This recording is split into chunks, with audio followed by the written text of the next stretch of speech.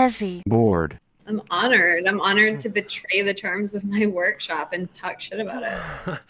that honestly great place to start you said like uh the kind of like weird like illuminati code around it right like the kind of yeah that you're not allowed to like talk about what happens in workshop but everyone always does and so it's like everyone knows that everyone talks about what happens in workshop what happens in workshop doesn't stay in workshop but it's like supposed to but yeah like it's happened so many times. Like i like we were talking about on the other episode like if a man came to workshop with a piece that was like considered toxic masculinity like you know that all the girls in the workshop are going to be talking about it after separately. I've witnessed it. I've witnessed it so many times.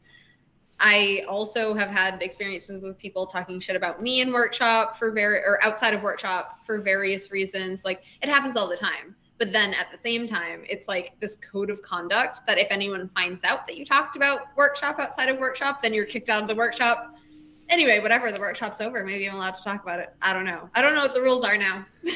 all the all the women are uh, talking about it while secretly wanting to fuck the person that wrote it. yeah, of, probably. Yeah. Yeah. Very very common sentiment. Many such cases. Yeah, yeah, yeah. But uh, this is the, as some listeners will know, this is if you're first time listening to this, this is what we do on Heavy Bored. We have a segment here we call Jerk Shop, and we are going into workshop stories, culture, and it's going to be negative, but I try to not make it entirely negative. So, you know, the problems, proposed solutions, uh, stories, events, all that kind of shit we talk about here on Heavy Bored.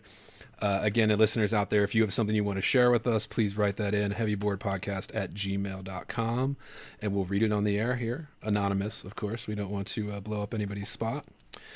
But I started. Inner. Resources. American resources. Being bored? You know, some activities are uh, intentional, right? It shows such a lack Heavy. of gratitude for life. Bored. Say. Bored. Heavy. I am heavy, heavy. Bored. Has you the night sweats and the day sweats, pal? Pal, I do.